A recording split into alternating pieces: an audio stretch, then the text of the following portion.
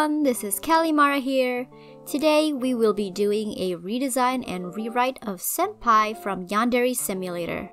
If you haven't seen my redesign and rewrite of Yandere-chan yet, I highly recommend you guys check that out. I had a lot of fun reworking her character and reading you guys a suggestion for her. If you're subscribed to me or follow me on Instagram or Twitter, you might have already seen the concept designs I came up with for this particular video. So if you guys want exclusive behind the scenes content like that, make sure you also subscribe and follow.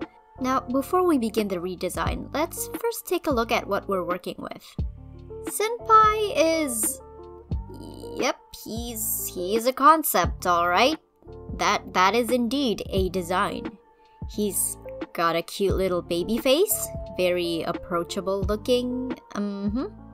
But all the rumors of Senpai being Yandere Dev's self-insert aside, is it just me or does he look younger than Yan-chan? He doesn't really look like a senior to me. In fact, Yan-chan looks like she could be his older sister. At best, he looks like he's probably in the same year as Yan-chan. I mean, it's pretty obvious that Yandere Dev just prioritizes much more time and effort into the female characters given how much he just loves women. Mm, but Senpai, despite being effectively the deuteragonist of the game, has been given little to no development at all. Which isn't good, considering the entire point of the game, all of the violence and illegal acts, is for him. Like, is he really worth it though? And I get that this is intended to allow people to project their own preferences onto him, which stops Yandere Dev from being able to lean too far one way or another as to not break that possibility. So then, why not just allow the players to also choose Senpai's personality? Oh, that's right. Because he's supposed to be consistent in the cutscenes where he's literally just Resasuke from Aggretsuko? Like, Okay, maybe Yan Chan sees him like this. But we sure as heck don't, so as a player, no thanks. If it was really a point for Yan Chan to be obsessed by just a regular old guy, then why not emphasize her rose tinted glasses in the game? Why not play up his dim wittedness? Play up him being a hot mess. Show us him being teased by the other students because he's so oblivious and so all over the place. Give us something. To show you what I mean, here is his entry on the Yandere Simulator official website. The Japanese word senpai refers to someone who has seniority over someone else. For example, if you are a first year student, all second year and third year students are your senpai. If you start working at a new job, any coworker who has been employed at the workplace longer than you is your senpai. Okay, so a, a bit of an etymology lesson. Cool, cool. In Yandere Simulator, the title of senpai is given to the young man or young woman that the protagonist is infatuated with, which pretty much confirms that he's not even meant to be older than us. The player is given the option of choosing Senpai's gender at the beginning of the game. They might be Senpai-kun or they might be Senpai-chan. If Senpai is a male, his name is Taro Yamada. And if she is female, her name is Taeko Yamada. Over the course of the school year, 10 different girls will fall in love with Senpai. There is a myth at the school that if a girl confesses her love to a boy under the cherry blossom tree behind the school on a Friday, the two of them will love each other forever. Every girl who falls in love with Senpai plans to confess at 6 pm on Friday. If there is anyone who wants to keep Senpai all to herself, she has until 6 pm on Friday to eliminate the competition. You can probably see now that this guy isn't even a character. Much like everything else in the game, he's just the placeholder for a character we're supposed to be attracted to. An objective we're meant to achieve and nothing more. We don't learn anything about his background, his personality, his struggles, his fears. He's just a blank, soulless, smiling work in progress of a character. You'd think Yandere would spend more time developing this character that the game literally revolves around. So, just like my previous redesign, I will be aiming for four things. Firstly, a more distinctive design. Second, a more compelling personality. Third, actually giving him a backstory and fourth, implementing these factors into the game. So let's get to it!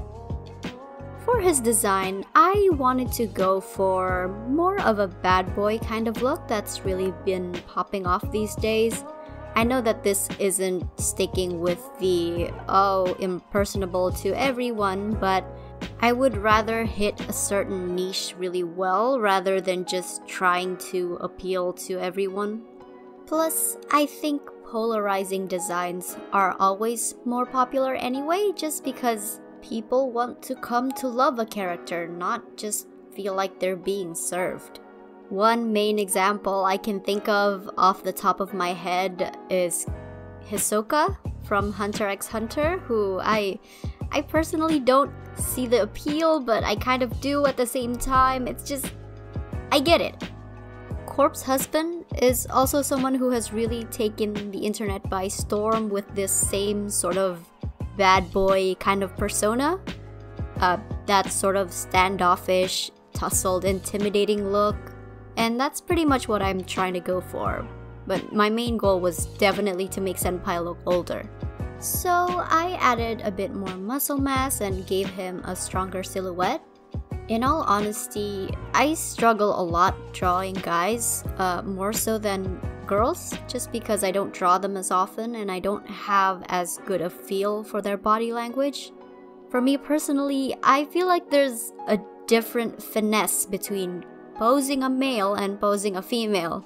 For instance, I find that the female body is a lot more flexible and dynamic, so it's pretty forgiving to exaggerated poses, which I personally enjoy. Male characters, I feel, require a lot more subtlety. It's really easy to fall into the trap of making them too stiff, but at the same time, if you exaggerate it too much, it looks anatomically incorrect.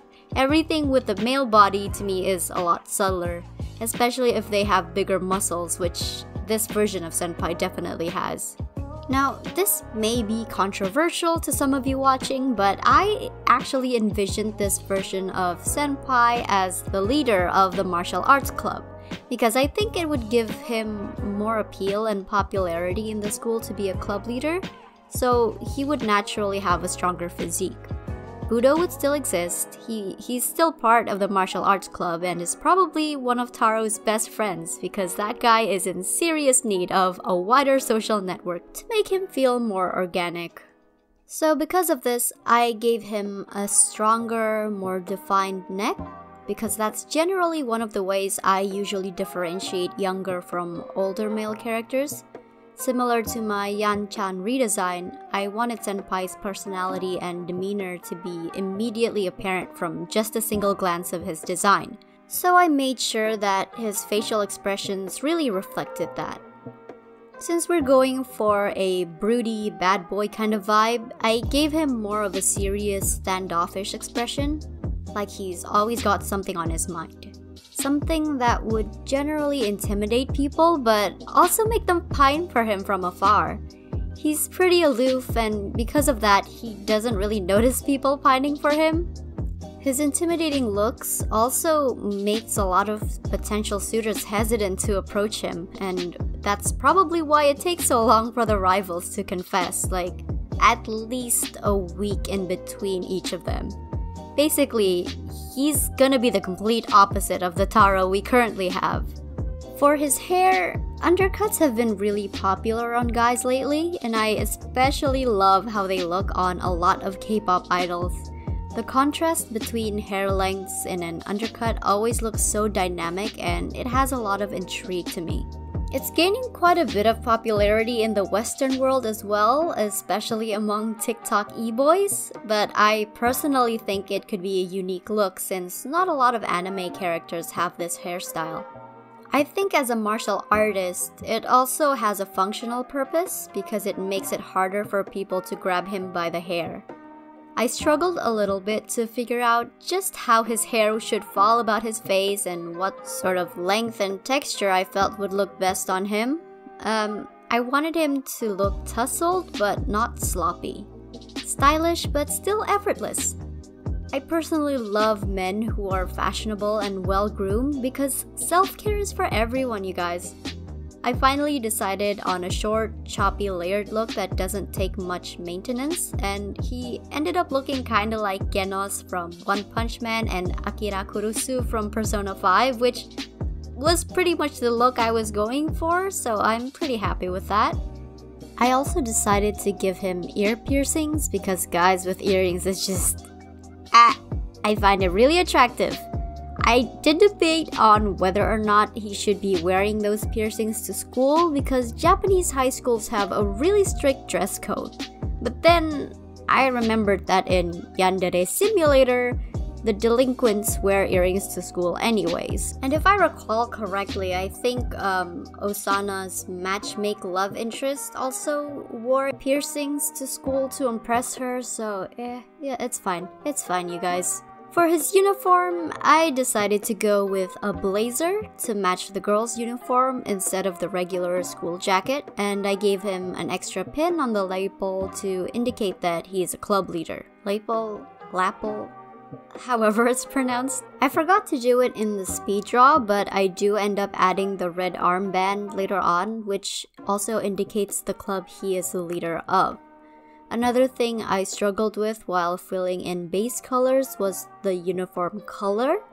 I didn't want the uniform to be the exact same for every grade because I thought it would look a bit samey.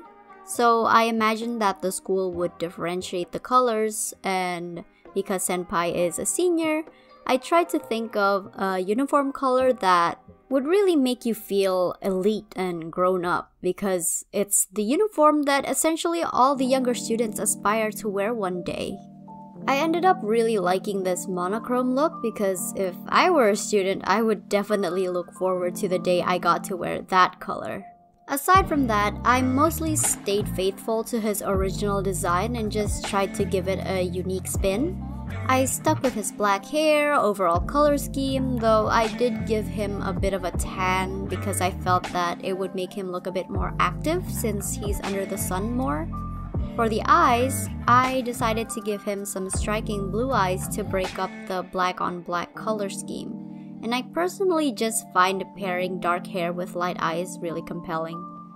Although it would be unusual for a Japanese student to have blue eyes, Yandere Simulator has a host of characters with all sorts of eye and hair colors, so I think this should be acceptable. With his design locked in, let's move on to his personality. I mentioned some bits and pieces of it before while describing his design just because I think it's really important that these aspects of a character go hand in hand, be it to make or break expectations. For Senpai, it's a bit of both. He can be a very intimidating and serious person. He takes his studies and his club activities really seriously, so he doesn't really have much time for dating. I don't think he would be the top of his class, but he's always consistently in the top 3 and definitely the most popular because he's so athletic. Despite his serious and intimidating demeanor, though, he's actually got a really warm and caring personality. He's very loyal and perceptive, and he has a small group of friends who hang around him pretty often. These people are other members of the martial arts club, including Budo, and he's kind of like the dad of the group. They hang out together most of the time in school, but he's a very secretive person who doesn't share a lot about himself, especially his home life. He is very protective of the people he cares about and will go through lengths to help them, especially his younger sister. However, he's loyal to a fault and he can be really terrifying when he's angry, and he's definitely not afraid to use his martial arts skills to prove his point, so to speak. But I think he's secretly kind of awkward around girls. He tries not to show it though, and he hides it by acting all cool and aloof.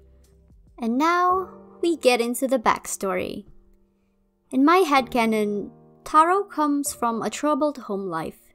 His mother died after giving birth to his younger sister, and his father never really got over the loss. He became an alcoholic and would leave the house for days on end and come home very late at night completely drunk and trash the house, throwing and hitting everything and everyone who would get in his way. Because of this, Taro was the one who had to raise his sister, Hanako. He dressed her, cooked for her, took her to and from school, and helped her with homework. Because of their volatile father, he became very protective of Hanako, so he started learning martial arts to protect her and himself. He started working part time jobs as soon as he was legally able to, so they could afford better food and new clothes because their father was neglecting them. He studies hard because he's hoping to get a scholarship and get into a good university, get a good job, and get custody of Hanako to get them both out of their current living conditions. But one day, during winter break, before the start of his senior year, their father had come home after going AWOL for two weeks and had begun his usual rampage. Taro had been out with some friends, and because he wasn't there to protect her, their father had beaten Hanako. By the time he got home, their father had fled and his sister was unconscious. He called the police and an ambulance, and Hanako was rushed to the hospital. The police managed to find and arrest their father, but he later found out that Hanako had sustained major brain trauma and her prognosis was grim. Believing that he had failed and racked with guilt over his sister's fate, he tried to take his own life. Luckily, he was already under supervision by the hospital after the major events that had occurred, so his attempt hadn't been successful. But because of this, he was then sent to the psych ward for a mental evaluation and further monitoring. This is when he meets Himari. He was unsure about her at first, but after getting to know her and realizing they had both come from unfortunate circumstances, she made him feel less alone. All this time, he had never really relied on anyone but himself. It always made him feel isolated, terrified of losing people close to him. But in that ward, he got to meet someone who knew exactly how that felt. Simply knowing that, it gave him the strength to carry on and remind himself that Hanako still needed him. And Hanako, instead of just being incest Osana, could serve as a motivation for Senpai and maybe even provide an opportunity for Yan-chan to learn how to care for someone other than Taro, later on in the game when she recovers, of course. I think it should always be left up to the player whether they want to do the right thing or if they want to guide Yan-chan further into the path of destruction. For example, you could just kill Hanako and that way you wouldn't have to compete with her for Senpai's attention. But if you choose to befriend her and get to know her, I think she could actually teach Yan-chan the meaning of family and what it's like to be a part of a real family, which I think is far more meaningful than just another rival character, shady implications aside. From an implementation standpoint, I feel like each of the rivals should have this value that they can teach Yan-chan. And to achieve the best ending, Yan-chan has to learn all these values and become whole by her own means. Senpai teaches her about love. Maybe Osana can teach her about friendship and Amai could teach her about generosity. I think this could really elevate Yansim from just being a gimmicky, indulgent murder game and make it something more profound. I think I should also talk about Osana a little bit more just because she is his childhood best friend. And I think they used to be a lot closer when they were younger, but over time, she would notice that he's becoming more distant and closed off. She isn't really aware of what's happening in his home life, and I think one of the reasons why she acts so bitter and tsundere against him is maybe because she's hurt that he basically shut her out. After all, guy friends don't tend to be as nosy about your personal life as girl friends are. And speaking of his guy friends, I imagine that they could be a really good organic obstacle for you to overcome. because they make it even more important for Yan-chan to have a good reputation and interact with other students, so that Taro's friends would approve of her being around him. Naturally, if they know you're a shady bitch, they're not gonna let you near their bro. Them being martial arts club members also makes it nearly impossible for the players to just murder them because of 1. their self-defense skills and 2. you risk inflicting senpai's wrath upon yourself. That way, players have more incentive to actually play the social manipulation game to get people's trust and use that to your advantage. Senpai's entourage can make your life really difficult or really really easy because they can also be a valuable resource to you. For example, if you manage to befriend Senpai's friends, you could get some really good information on his likes and dislikes, his quirks and habits, and maybe they would even set you up with him if they really supported you.